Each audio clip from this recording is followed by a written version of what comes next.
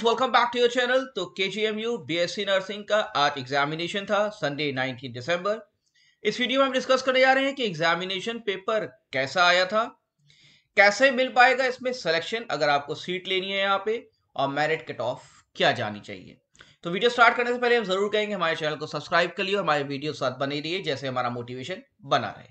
तो फ़र्स्ट चीज़ आपको पता है, ये पेपर तीन घंटे का था, ठीक है? 200 एमसीक्यू क्वेश्चंस यहाँ आए थे नेगेटिव मार्किंग नहीं थी। सिलेबस आपको पता है physics chemistry biology nursing aptitude GK और इंग्लिश था। अब हम सीधे आते हैं कि पेपर कैसा हुआ आज का।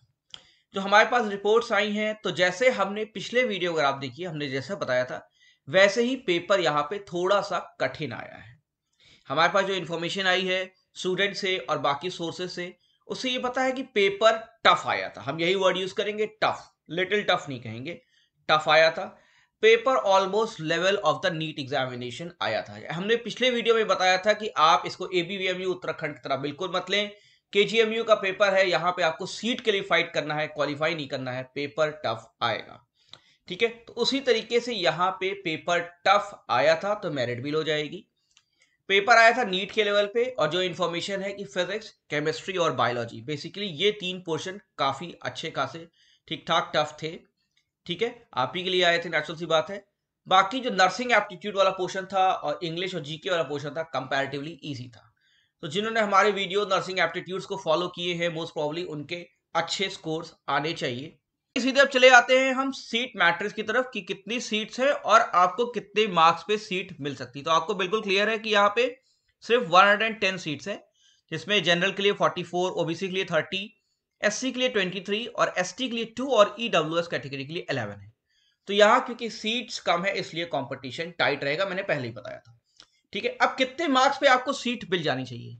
तो जो पेपर आया है, उसके अकॉर्डिंगली मेरा मानना यह है, अगर आप 150 प्लस में हैं, अगर आप 200 में 150 प्लस के ऊपर स्कोर कर रहे हैं, आप ऑलमोस्ट सेफ़ जोन में हैं, आपको यहाँ पे सीट मिल जाएगी। मेरा जो पर्सनल एनालिसिस है अगर जनरल कैटेगरी का कैंडिडेट है, ठीक है जनरल कैटेगरी मतलब 44 सीट्स के लिए फाइट कर रहा है।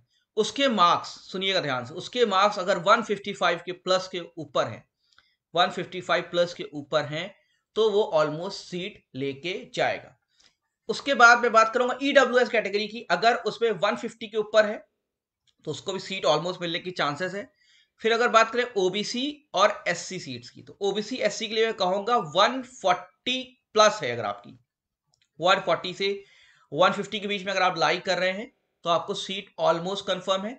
एसटी के लिए मैं कहूँगा कि 135 प्लस ये मेरा रेंज है। अब इसमें प्लस फाइव और माइनस फाइव आप कर सकते हैं। थोड़ा सा नीचे जा सकती है, ज़्यादा नीचे नहीं जाएगी। ऊपर थोड़ा सा और जा सकती है। देखिए, अब इसमें ऐसे बच्चे भी होंगे जिनका 175 180 भी स्कोर हो रहा होगा, या 170 हो, लेकिन ऐसे बच्चे बहुत कम होंगे। मुश्किल से मेरा मानना है कि 170 से 180 के बीच लाई करने वाले बच्चे होंगे 10 से पंद्रह, शायद। ठीक है? तो वो तो ऊपर रहेंगे ना। आपको नीचे वाली अगर सीट्स के लिए अगर बात करें तो वो रेंज आ जाएगा 155 के प्लाक वाला। तो 150 प्लस जो है, एक अच्छी रेंज है सीट एक्योर करने के लिए। 155 प्लस पे मैं कहूँगा जनरल को सीट मिलने की चांसेस मैक्सिमम है। 150 प्लस पे ईडब्ल्यू एस ओबीसी के लिए 140 प्लस और एसटी के लिए 135 प्लस पेपर के लेवल की बात करो, मैंने फिर कहा था कि आपको पेपर बिल्कुल नीट के लेवल की तैयारी करनी इसलिए हमारे जो फिजिक्स केमिस्ट्री बायोलॉजी की वीडियोस हमने कहा था एनसीईआरटी से आप पढ़िए। हमारे वीडियोस एनसीईआरटी बेस्ड रहते हैं तो हमारे वीडियोस को आप फॉलो किया कीजिए फिजिक्स केमिस्ट्री बायोलॉजी की। हम थोड़ा टफ बनाते हैं, इसको एबीवीएमयू और उत्तराखंड से बिल्कुल कंपेयर मत किया कीजिए। वहाँ पे पेपर इजी आया था, और आपको टफ जब आप पढ़ेंगे तो टफ पेपर भी आपको इजी लगेगा, इसलिए हम टफ पढ़ाते हैं इजी क्वेश्चंस के चक्कर में नहीं रहते।